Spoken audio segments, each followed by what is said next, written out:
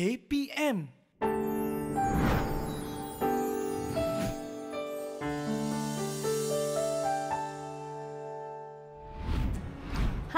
Assalamualaikum warahmatullahi wabarakatuh dan salam sejahtera.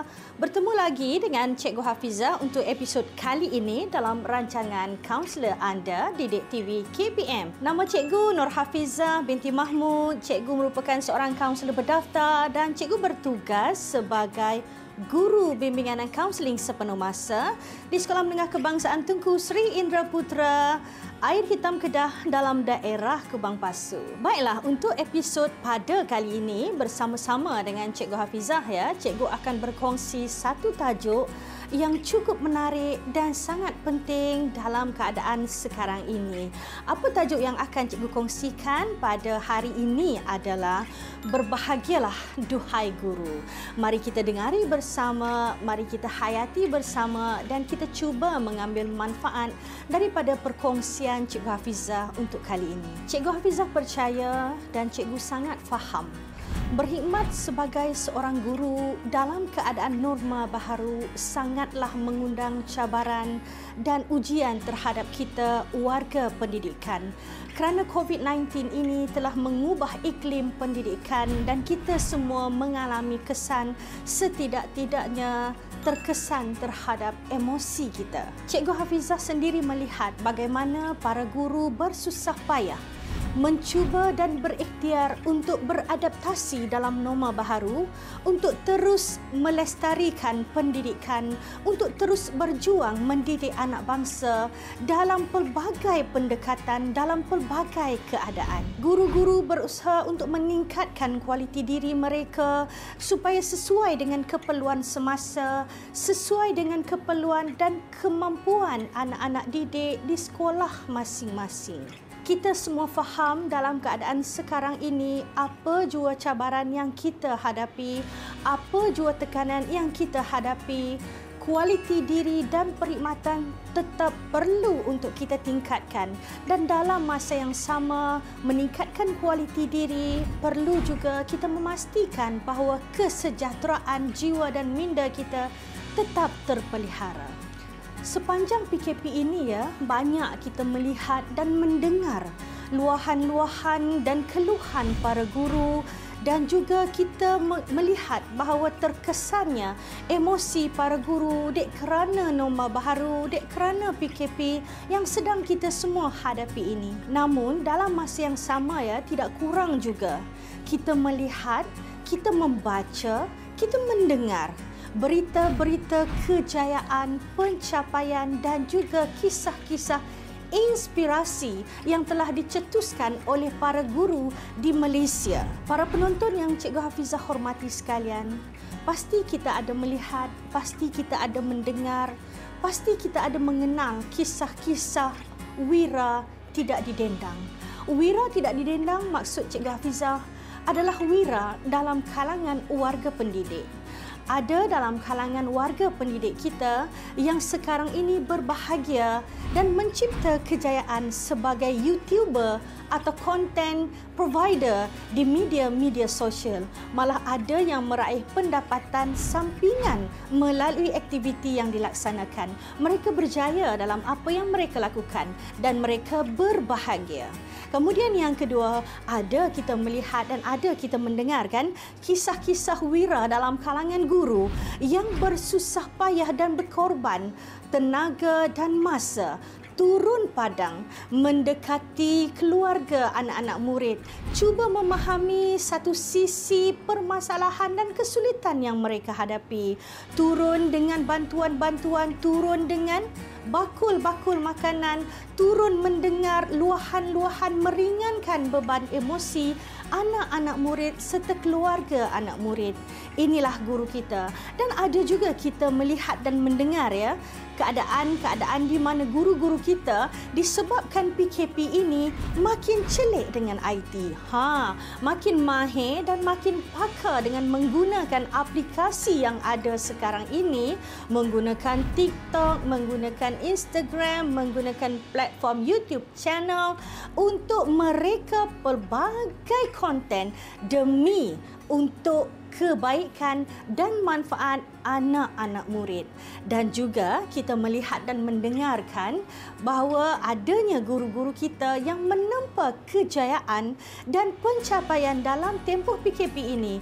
Contohnya dapat menerbitkan buku catatan pengalaman, ada yang menghasilkan produk-produk inovasi dan diiktiraf dari peringkat negeri, kebangsaan dan antarabangsa. Malah ada yang bertanding dalam pelbagai pertandingan yang berbentuk kreativiti ataupun akademik. Jadi apa yang Cikgu Hafizah lihat di sini ada ramai guru-guru di Malaysia yang mencipta kejayaan dan mencipta kebahagiaan dalam keadaan norma baharu PKP pandemik COVID-19 yang kita semua hadapi di Malaysia ini. Didik TV KPM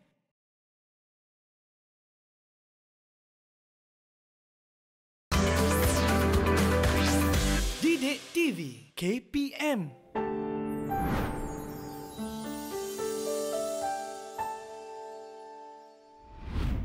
Baiklah, mari kita cuba fahami kisah-kisah wira-wira yang Cikgu Hafizah sebutkan tadi. Mari kita lihat dengan lebih teliti dan kita cuba untuk memahami. Baik, kita lihat berkaitan dengan guru-guru yang telah mencipta kejayaan dan kebahagiaan dalam tempoh PKP ini dengan menjadi YouTuber dan content provider. Apa yang Cikgu Hafizah lihat adalah mereka telah mengenal pasti minat dan kecenderungan diri mereka. Contohnya, mereka mempunyai minat dengan bidang ICT, mereka minat dengan kerja mereka bentuk dan minat serta cenderung dengan aktiviti bercakap. Dan mereka ini telah mengenal pasti kebolehan dan kekuatan mereka.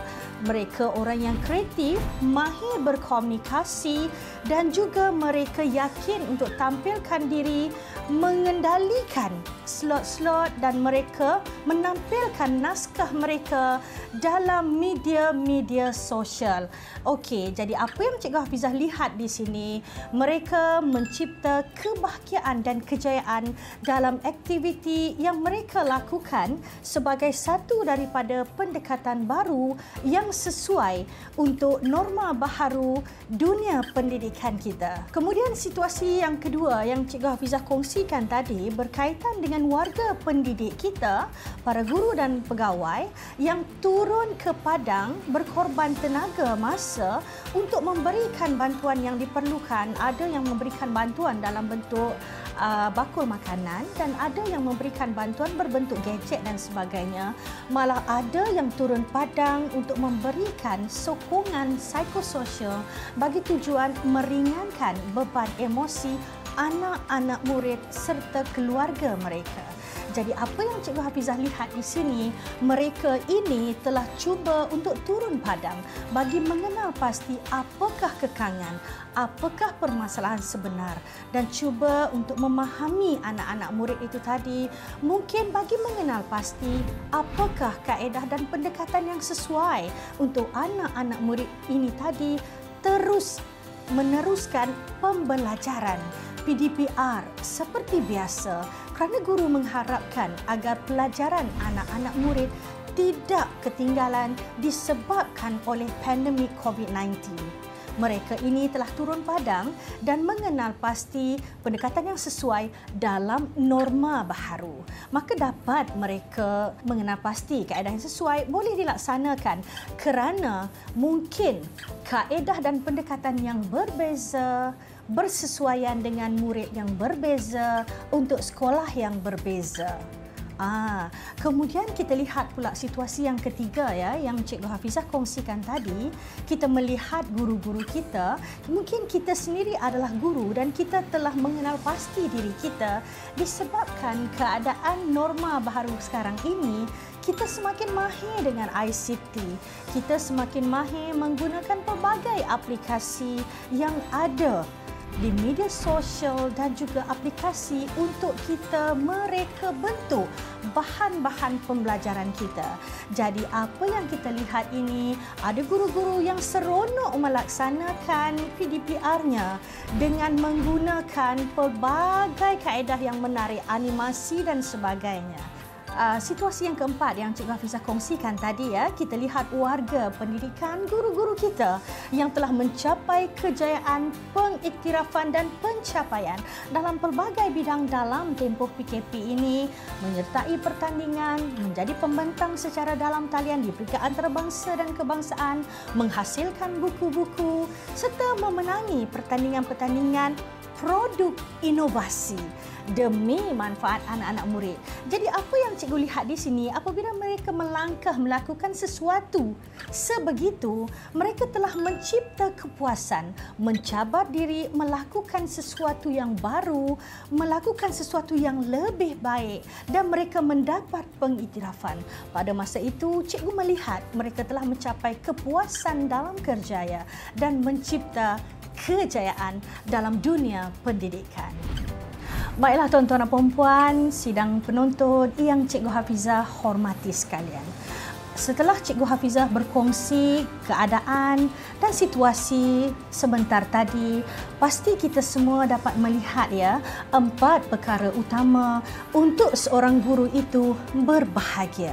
Cikgu suka nak mengajar warga pendidikan dan para guru ayuhlah kita menjadi guru yang berbahagia dalam melaksanakan perkhidmatan kita dalam kita mendidik anak-anak bangsa. Ada empat perkara utama yang perlu kita renungkan dan muhasabah diri kita untuk kita mencipta kebahagiaan dalam melaksanakan tugas. Yang pertama, tuan-tuan dan puan-puan para guru, mari kita semak diri kita, apakah minat dan kecenderungan diri kita yang boleh kita manfaatkan dalam tempoh PKP ini, dalam norma baharu ini. Dan yang kedua, kenal pasti apakah kekuatan dan kebolehan yang kita ada, yang kita miliki. Kita manfaatkan kekuatan dan kelebihan itu untuk melaksanakan perkhidmatan dalam mendidik anak-anak murid. Dan perkara yang ketiga, kita kena ambil masa memahami dunia pendidikan sekarang. Memahami segala kekangan dan kesulitan anak murid. Memahami keperluan dalam perkhidmatan kita. Memahami kemampuan dan kekuatan diri kita untuk kita fokus kepada apa yang kita mampu lakukan dan sesuai lakukan demi kebaikan kita sebagai seorang guru dan kebaikan anak didik kita. Dan perkara yang keempat, marilah kita mencipta kebahagiaan dan kesejahteraan dalam usaha mendidik. Para guru serta para penonton yang Cikgu Hafizah hormati sekalian, jangan kita ambil mudah dalam tempoh ini kita kena sentiasa menuntut ilmu dan kita kena sentiasa meningkatkan kemahiran kita. Antara cara yang kita boleh laksanakan dengan duduk di rumah adalah aktiviti membaca. Di sini Cikgu Hafizah nak kongsikan, mungkin kita bukan guru bahasa Inggeris, tetapi kita boleh tingkatkan kualiti diri kita dalam aspek bahasa Inggeris dengan membaca buku ataupun kita menonton video-video pembelajaran communication dalam bahasa Inggeris bagi meningkatkan kualiti diri kita. Ataupun mungkin kita bukan sebagai seorang guru bimbingan dan kaunseling tetapi kita tingkatkan pengetahuan kita dalam bidang psikologi. Ah, dan juga mungkin kita sebagai seorang pemimpin di sekolah kita tingkatkan pembacaan, kita tingkatkan ilmu dan kemahiran kita dalam bidang mungkin mentoring and coaching. Okey, ataupun dalam masa yang sama kita berusaha untuk mendapatkan ilmu bagi meningkatkan kualiti diri kita dalam kemahiran insaniah soft skill. Antaranya kita boleh tingkatkan keupayaan kita berucap dengan yakin ataupun berucap di khalayak umum. Banyak video-video pembelajaran yang dikongsikan di YouTube oleh konten-konten provider yang ada sekarang ini. Ataupun sebagai seorang guru yang mencetus inspirasi kepada anak-anak murid kita boleh belajar membaca dan mengambil tahu bagaimana untuk menjadi seorang individu yang menarik untuk tampil di kalangan anak-anak murid kita supaya menjadi satu daripada daya tarikan anak murid kembali suka belajar dengan kita. Didik TV KPM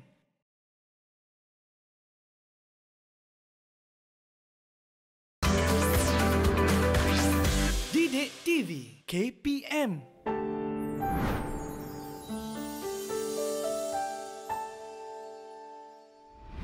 Guru-guru sekalian, untuk berbahagia sebagai guru, lakukanlah apa yang kita suka dan apa yang kita mahir. Jika kita suka dan kita mahir menulis, menulislah untuk memberikan sumbangan dalam bidang profesional, dalam bidang akademik atau menghasilkan penulisan-penulisan kreatif demi manfaat sejagat dan juga memberi manfaat kepada anak-anak didik kita serta warga pendidikan yang lain. Yang kedua, para guru sekalian, fokuslah untuk kita menghargai dan mensyukuri apa yang kita ada sekarang ini yang mungkin tidak dimiliki oleh orang lain. Yang ketiga, fokuslah untuk kita memilih satu kaedah, satu pendekatan yang sesuai dengan diri kita dan anak-anak murid kita dengan sekolah kita.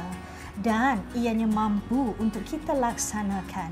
Bagi mengelakkan kita melakukan sesuatu di luar kemampuan dan ianya tidak bersesuaian dengan anak-anak murid kita sehingga kita merasakan apa yang kita laksanakan tidak mempunyai impak seperti mana yang kita harapkan. Dan perkara yang keempat, wahai guru, ayuhlah kita mencipta kebahagiaan sebagai seorang guru dengan cara tingkatkanlah diri kita dari segi ilmu, dari segi kemahiran dan kebolehan kita serta ciptalah kejayaan yang tersendiri.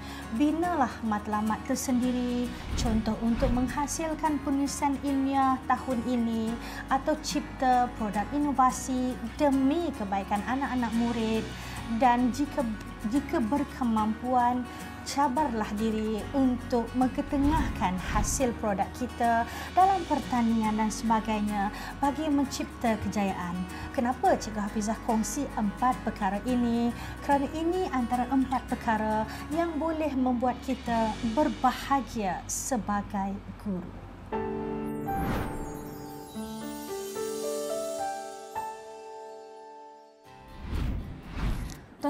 Tuan-tuan para guru serta warga pendidikan yang Cikgu Hafizah hormati sekalian.